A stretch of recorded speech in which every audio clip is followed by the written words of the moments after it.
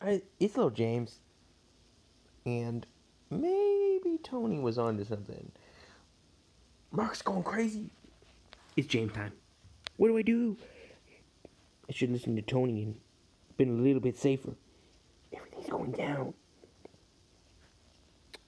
Time to take big risks. Big rewards.